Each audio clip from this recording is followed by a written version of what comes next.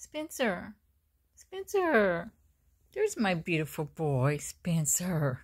he said, I'm not feeling it today, right, Spencer?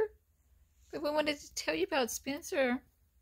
Spencer got his name because we found him when he was only like seven weeks old on Spencer Highway, left there by himself, cold and scared.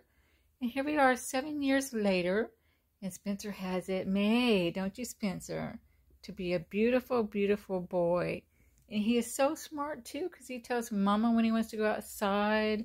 He lets her know when he needs anything, don't you, Spencer? He's so funny. And you can't tell that Spencer has only one eye he can see out of. But we wanted to tell you a little bit about Spencer.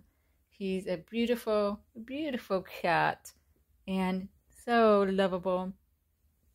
You're going to say bye, Spencer? Said no. I'm just not feeling it today.